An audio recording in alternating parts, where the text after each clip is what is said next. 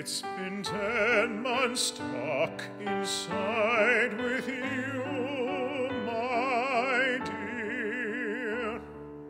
All the passion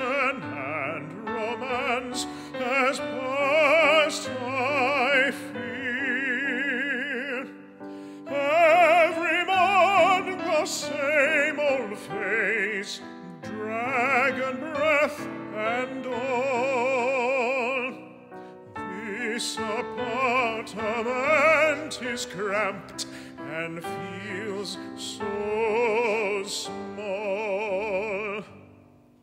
I wake up every day